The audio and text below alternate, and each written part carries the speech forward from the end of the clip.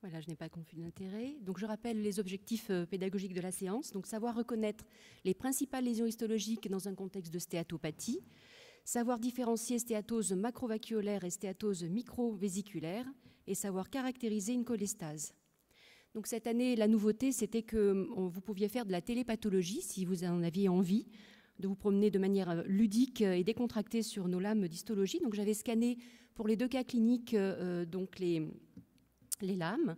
Et euh, sur ce site, vous pouviez donc accéder aux renseignements cliniques, à la lame d'HES qui est la coloration de base, à la lame du rouge Sirius qui est la coloration de la fibrose, vous pouviez vous promener également jusqu'à un grandissement x40, qui est notre objectif maximum euh, au microscope. Et puis également, vous pouviez voter de manière anonyme. Et là, c'est vrai que si une centaine de personnes euh, ont visité le site, euh, très peu se sont hasardés à, voter, mais c'est normal, c'est sûrement un peu compliqué. Donc, le cas clinique numéro 1, donc on est dans la vraie vie, hein, c'est le bon d'examen rempli par nos cliniciens que je reçois tous les jours. Donc ça concernait une femme de 49 ans qui avait une cytolyse chronique qui était en cours d'exploration, un contexte métabolique avec un diabète de type 2 traité par metformine, une hypertension artérielle et une dyslipidémie, également une insuffisance thyroïdienne. Les sérologies virales dans ce contexte de cytolyse étaient négatives. Elle avait une hépatite A qui était ancienne. Euh, en échographie, elle avait un foie euh, d'allure brillant, une élastographie à 9,2 kPa et euh, TP plaquettes étaient normaux. Donc, c'était assez simple. On fait une biopsie dans un bilan de Nafeld et on me demande est-ce qu'on va pouvoir l'inclure dans un protocole NASH?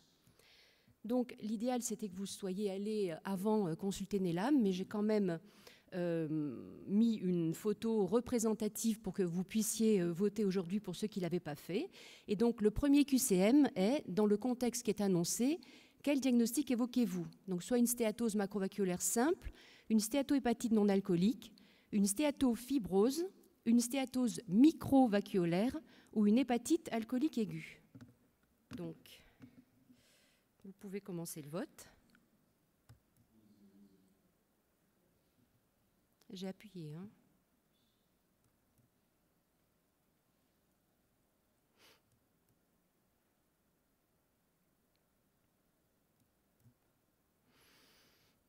Hmm, ça ne marche pas. Ah, pardon, c'est la fin. D'accord, très bien. Donc, euh, bah, la réponse euh, est une stéatohépatite non alcoolique. Alors, euh, c'est vrai que sur cette diapositive, on voit beaucoup de stéatose macrovacuolaire, mais il y avait d'autres choses qu'il fallait voir. J'enchaîne directement sur le QCM numéro 2, qui est, donc en tout cas pour ceux qui ont trouvé le, le diagnostic, quels sont les éléments histologiques qui sont indispensables au diagnostic de NASH. Donc, la stéatose macrovacuolaire, la stéatose microvacuolaire, la ballonisation des hépatocytes, l'infiltrat dans les espaces portes ou l'infiltrat dans les lobules.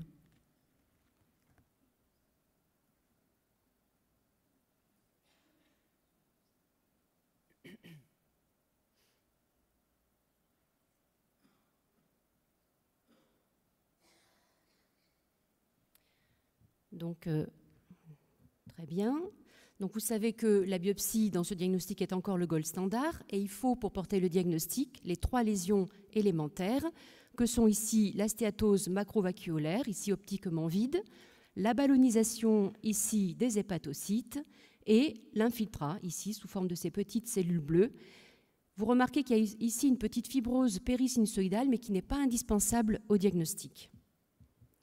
Donc comment est-ce qu'on grade euh, sur la biopsie euh, les NAFLD. Donc, il y a le score NAS, qui est le plus ancien que vous connaissez, qui est un score qui a été établi euh, par l'équipe de Brunt et de Kleiner, et qui est déjà ancien, qui ne s'est pas modifié, et qui prend en compte trois critères, qui sont des, critères qui associent des lésions de mécanismes différents. C'est un peu le problème. Donc, l'astéatose, qui est gradée de 0 à 3, la ballonisation des hépatocytes de 0 à 2, et l'inflammation dans les lobules de 0 à 3. Tout ça définit en les associant le score NAS.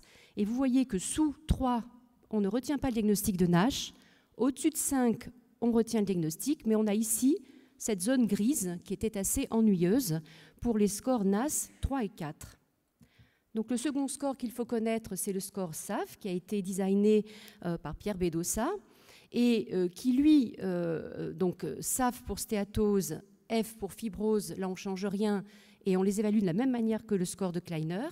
Et puis, euh, on a souhaité introduire euh, au niveau de l'activité l'association de l'infiltrat et de la ballonisation un peu sous la même forme que le métavir associé l'infiltrat et les corps apoptotiques. Et donc, ce score se définit en S de 0 à 3, en A de 0 à 4, et puis en F de 0 à 4. Donc, l'anafeld se définit comme la présence d'une stéatose, quelle que soit l'activité et la fibrose, alors que la NASH va nécessiter donc un score de stéatose à 1, un score d'activité au moins à 2, et surtout ce qui est important, c'est au moins un grade de ballonisation et un grade d'infiltrat euh, lobulaire, quelle que soit la fibrose, il n'est pas euh, obligatoire d'avoir de la fibrose sinusoïdale. L'algorithme FLIP qui en découle euh, donc a permis de rendre ce, score très reproductible. Donc voyez ici la stéatose quelle qu'elle soit, définie l'anafeld. Ici, il faut absolument un point de ballonisation pour retenir le score de Nash et un point ici, minimum, d'infiltrat pour le score de Nash. Et donc, dans ce contexte, le diagnostic de Nash est euh, finalement euh, assez reproductible, à 0,66 entre des anapathes experts, avec voyez, une très bonne reproductibilité pour l'activité qui est souvent euh, l'élément le plus difficile à apprécier.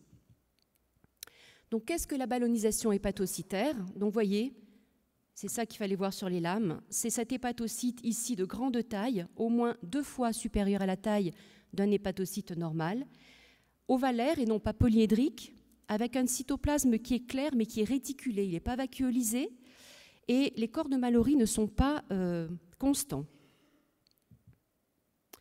Donc ici, une comparaison pour que vous compreniez un petit peu après comment on va euh, positionner les deux grades, le, le NAS et le SAF.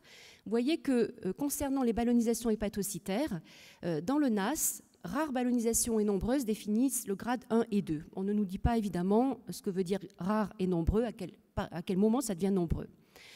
Euh, pour le SAF, donc le grade 1, il est beaucoup plus en avant par rapport aux ballonisations. Ça va être des groupes d'hépatocytes qui vont être clarifiés, mais ils ne sont pas ballonisés, c'est-à-dire que la taille est à peu près conservée. Mais ça suffit à faire un grade 1.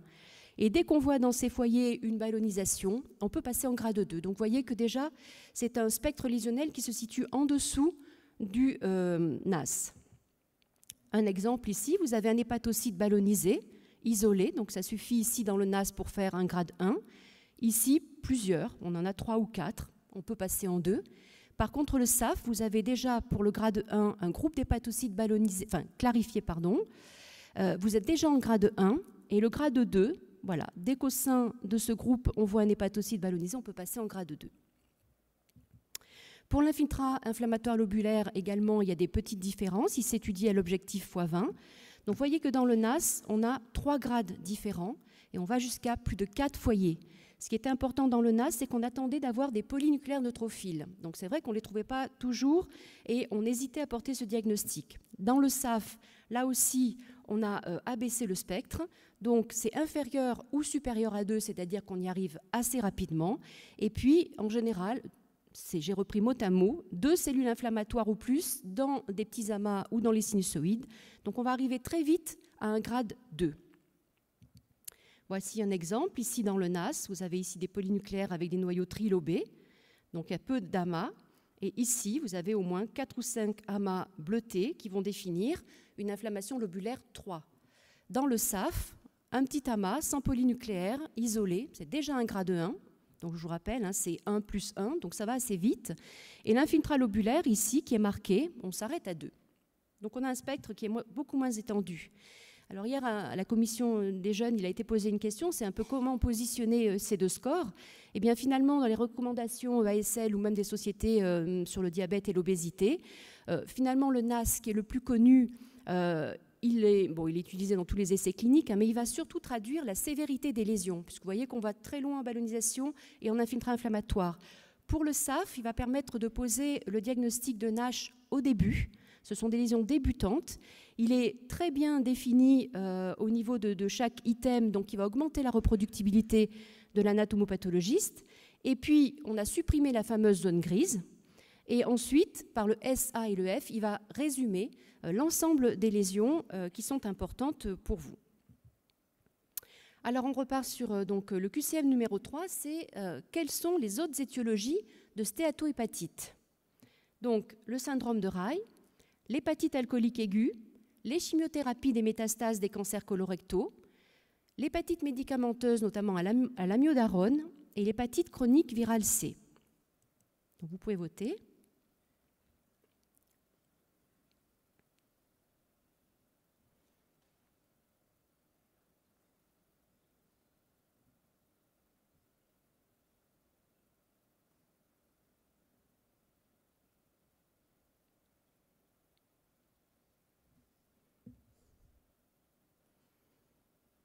Oui, donc alors il y avait de nombreuses étiologies, effectivement.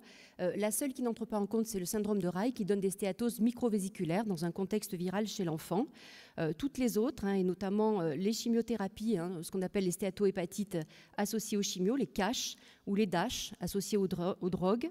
Et puis, vous vous rappelez l'hépatite chronique virale C, on nous demandait souvent d'évaluer les lésions centrolobulaires parce que ça ça supposait une accélération de la fibrose au niveau centrolobulaire. Donc, euh, QCM numéro 4, quelles sont les caractéristiques cellulaires de la stéatose macrovacuolaire Donc, je commence le vote. Une grosse vacuole qui refoule le noyau, un cytoplasme rempli euh, de microvacuoles d'aspect spumeux, un noyau toujours central ou un noyau périphérique ou un cytoplasme ballonisé.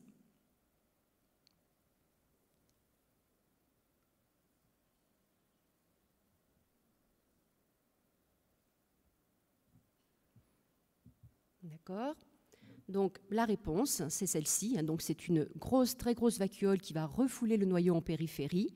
Donc c'est un aspect euh, assez classique et facile à identifier. Donc quelles sont les, caractéristiques de la stéatose macrovacuolaire dans la Donc elle est le plus souvent non systématisée, hein, vous savez, par rapport aux zones portales ou lobulaires. Elle est de topographie principalement périportale ou périvénulaire. Elle prédomine dans la zone 3 du lobule hépatique et elle est toujours supérieure ou égale à 5%. Vous pouvez voter.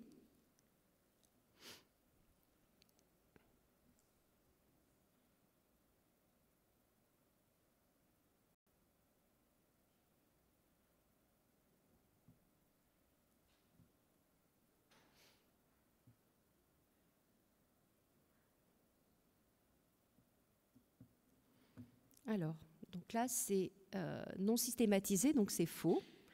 On va. Pardon. Donc on va préciser les choses. Hein. Euh, donc la stéatose dans la c'est une stéatose qui commence dans les régions périvénulaires, ici la zone 3, et qui respecte très longtemps la région portale. Et donc on l'évalue ici de manière semi-quantitative, évidemment. Un tiers du lobule, à peu près donc deux tiers ici, ça fait à peu près 50% entre la veine et l'espace porte. Et puis ici, vous voyez, supérieur à 66% hein, par rapport aux trois euh, euh, grades de, la stéatose. Donc c'est une évaluation semi-quantitative qui est la même pour le NAS et le SAF, avec une variabilité euh, inter, enfin une reproductibilité interobservateur de 0,61. Donc pourquoi c'est important de définir cette stéatose, un macro versus micro? Eh bien parce que euh, on va, nous, anatomopathologiste, pouvoir vous euh, proposer des étiologies. Donc évidemment, quand elle est macro, c'est l'anapheule et euh, l'éthylisme chronique, mais également certains médicaments. Euh, certains virus, hein, comme le VHC, le génotype 3, la maladie de Wilson également, la nutrition parentérale, et puis des maladies plus rares, hein, comme l'hypo-bêta-lipoprotéinémie, euh, et puis euh, les glycogénoses. Et ce qui est aussi important à savoir pour la stéatose macrovaculaire, c'est que quand elle est supérieure à 30 ou 40 elle peut entraîner des insuffisances hépatiques après des chirurgies majeures ou des dysfonctionnements primaires du greffon dans un contexte de transplantation hépatique. Donc ici, vous avez également euh, une autre question. Donc, quelle est l'illustration représentative de la stéatose microvésiculaire?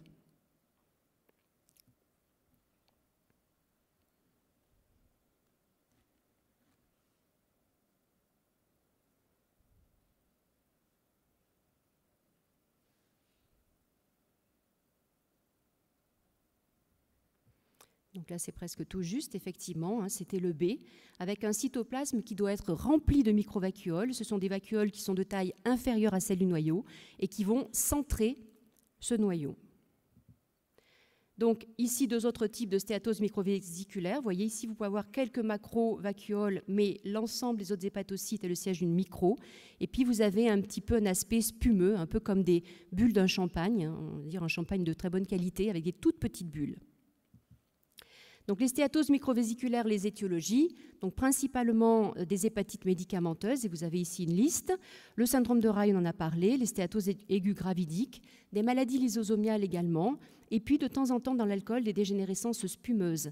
Et quand l'atteinte est diffuse, là, il y a un vrai risque d'insuffisance hépatocellulaire aiguë, notamment dans les toxicités médicamenteuses.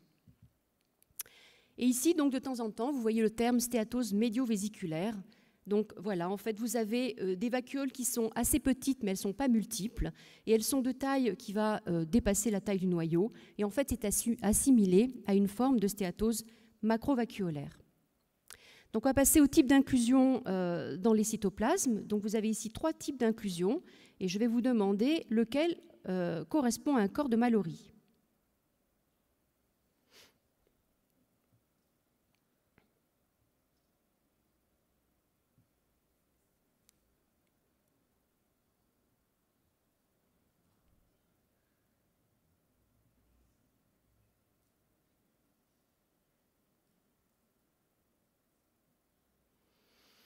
Alors, la bonne réponse, c'était ici, euh, B, ce corps filamenteux et osinophile, c'est-à-dire rouge. Donc, comment est-ce qu'on peut les mettre en évidence? Ça, c'était un petit peu plus dur. Donc, par un trichrome de maçon, par un PS diastase, par un rouge Sirius, par une cytokératine 7 ou par une cytokératine 8-18.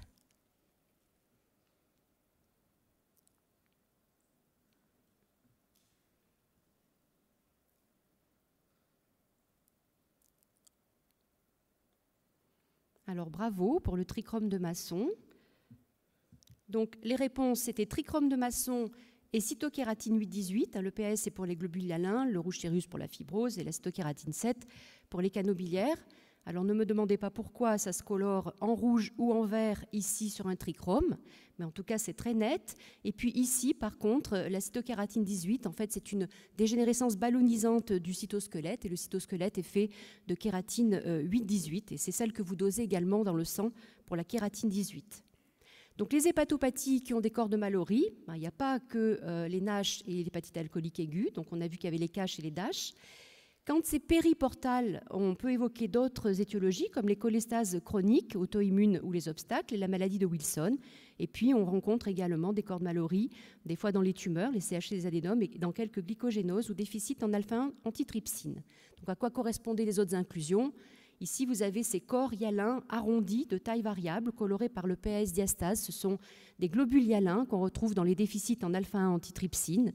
Et vous aviez ici des mégamitochondries, ces inclusions éosinophiles cristallines qui, sont euh, rouges fluo au trichrome et qu'on peut euh, retrouver euh, dans les dégénérescences hépatocytaires, dans l'alcool ou dans les hépatites médicamenteuses. Donc on va terminer ce cas par le stade de fibrose selon Kleiner et Brunt. Donc vous avez ici une photo représentative de ce que vous aviez à voir et je vais vous demander quel est ce stade. Donc est-ce que c'est uniquement périsinusoïdal et périvénulaire? Est-ce que c'est également portal? Est-ce que c'est les deux? Est-ce qu'il y a des septafibreux? Et est-ce qu'il y a une cirrhose?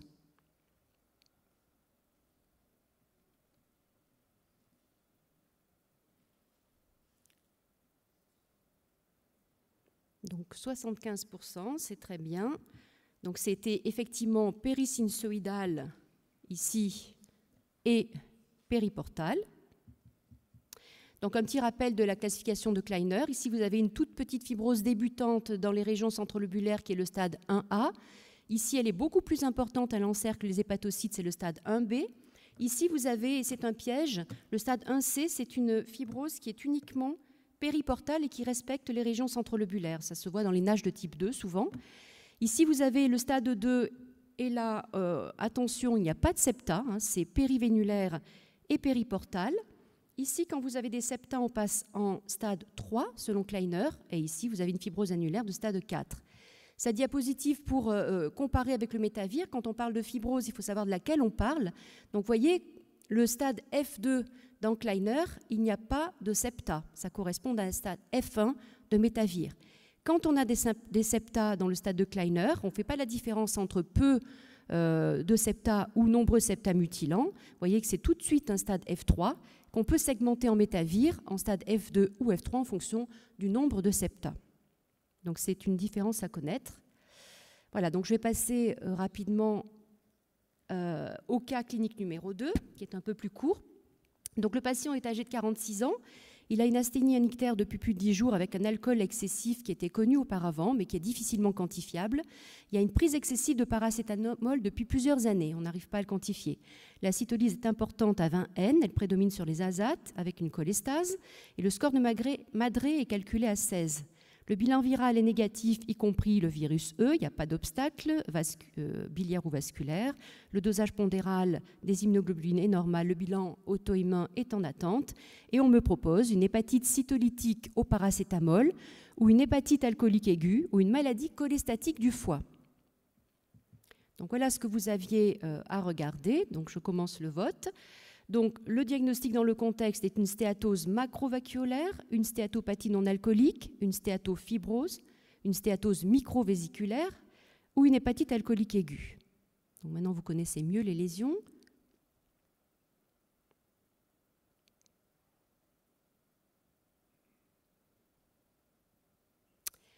Alors, euh, c'est partagé, donc stéatofibrose, c'est vrai qu'on voit les deux. C'était une hépatite alcoolique aiguë, surtout, hein, puisque on voit ces hépatocytes ballonisés avec ces corps de Mallory, puis de nombreux polynucléaires neutrophiles. C'est vrai qu'il y a un petit peu de fibrose. Donc, le diagnostic était hépatite alcoolique aiguë. Donc, quelle est la lésion histologique qui est, puisque les lésions se ressemblent entre la NAFLD et, et la NASH, quelle est celle qui est absolument inhabituelle dans la NASH? Le corps de Mallory, les polynucléaires neutrophiles, la présence d'une cholestase, une fibrose périsinusoïdale ou une ballonisation. Donc habituel, inhabituel pardon, dans la NASH.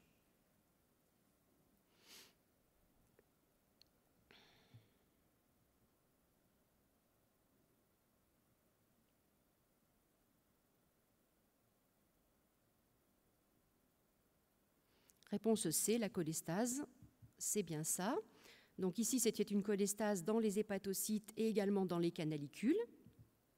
Alors, vous avez souvent entendu dire que les lésions de l'hépatite alcoolique aiguë et de la NASH étaient identiques et que la ne pouvait pas forcément euh, faire la différence. Donc, c'est vrai que les lésions, euh, donc on l'a vu, hein, de stéatohépatite sont identiques, que dans les deux, on peut avoir une inflammation, contact des vésicules de, de stéatose, une inflammation portale, une petite fibrose sinusoïdale ou des noyaux glycogéniques. Mais par contre, il y a certaines particularités dans l'hépatite alcoolique aiguë qui ne se voient pas dans la NASH. La cholestase ne se voit pas. La richesse en polynucléaires neutrophiles, elle est très marquée dans l'hépatite alcoolique aiguë, hein, souvent au contact des ductules ou des hépatocytes. Les corps de Mallory y sont nombreux, ce qui explique l'afflux de polynucléaires neutrophiles. Et la stéatose n'est pas indispensable, les noyaux glycogéniques sont rares, et il y a souvent des lésions véno-occlusives au niveau des vénules euh, centrolobulaires. Donc ici, vous avez deux représentations de ce qu'on appelle la satellitose. Hein. les, corps de Mallory sont chimiotactiques par rapport au polynucléaire et vous voyez qu'ils s'accumulent ici autour de ces hépatocytes avec corps de Mallory. Donc euh, on s'achemine vers la fin. Donc quel est le type de cholestase illustré sur cette diapositive ici? Donc intra-hépatocytaire, donc dans les cytoplasmes, canaliculaire, dans les canalicules biliaires, ou ductulaire,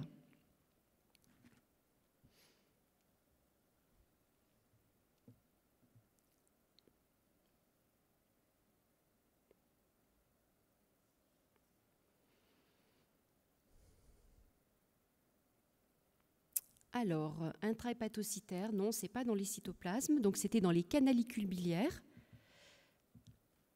Donc, voici les trois types de cholestase. Vous avez ici ces pigments brunâtres dans des hépatocytes ballonisés, ou ici, à très fort grandissement, difficile à, voir dans ces hépatocytes. Donc, la cholestase intrahépatocytaire va orienter vers des cholestases chroniques auto-immunes, génétiques ou fonctionnelles. La cholestase dans les canalicules, vous savez qu'il y a un pôle vasculaire et un pôle canaliculaire, donc ça s'accumule au pôle canaliculaire des hépatocytes, va orienter vers des hépatites cholestatiques et des cholestases médicamenteuses. Et la cholestase dans les ductules périportaux, ici, euh, que vous voyez bien dans ces ductules dilatés, va orienter vers un foie septique ou une pathologie en rapport avec la nutrition parentérale. Donc, euh, sur ce cas que vous, pouviez visionner, quel était le stade de fibrose selon Métavir? Donc, F0, pas de fibrose, F1 portal, F2 septal, F3 septal mutilante ou F4 cirrhose. Vous avez une coloration du rouge Sirius pour souligner la fibrose.